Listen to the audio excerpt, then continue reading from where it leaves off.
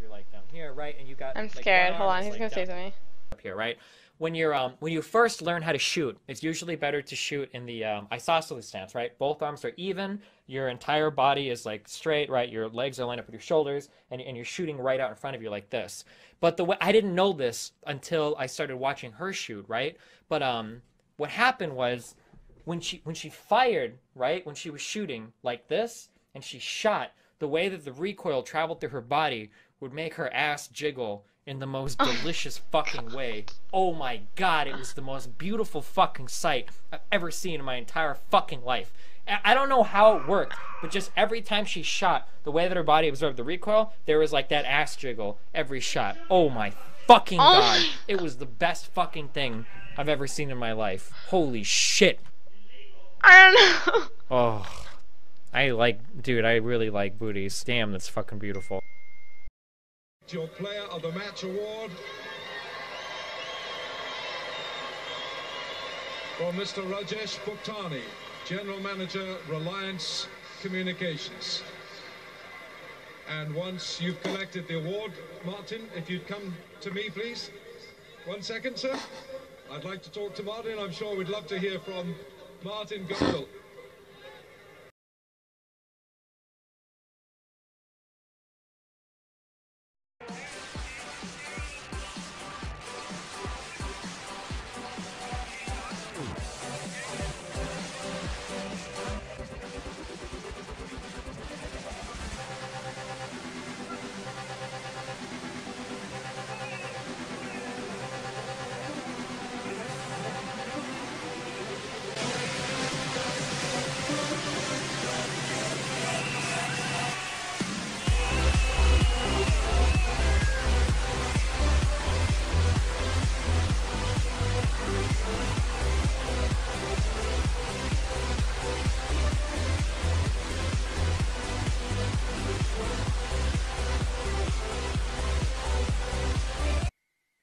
An Australian presenter has been left red faced after cracking a joke about pizza shops during an interview with the Dalai Lama.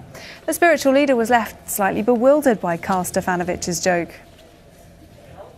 So the Dalai Lama walks into a pizza shop. Cosa shop. Pizza shop. Pizza? Pizza shop, yes. Yeah, pizza, pizza shop. And says, Can you make me one with everything? Hmm. What's that? That's what it. Oh, yes. Do you know what I mean? Can you make me one Oh. with everything? Ah, theoretically possible. Ah. Oh, I knew that wouldn't work.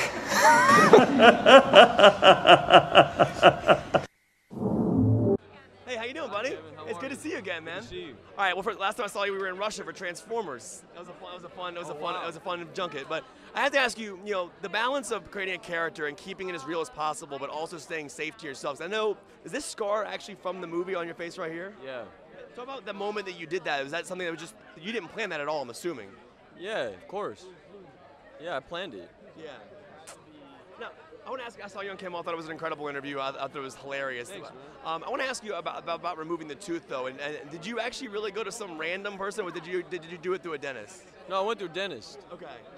Uh, talk about being a part of this movie and how like the David Ayer uses a lot of uh, real effects versus CGI. Where's the balance of safety versus being real, being realistic to the character? Uh, I, I, it's not it's not a question for me. I have no idea. Right. Now, talk about watching this movie. Are you, are you able to watch yourself in a film? Are- are- can you be entertained by the movies that you're in? Yeah. Well, Shia, thank you so much, man.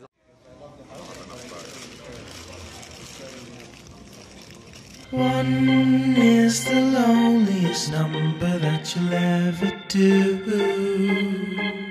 And I don't get Oh,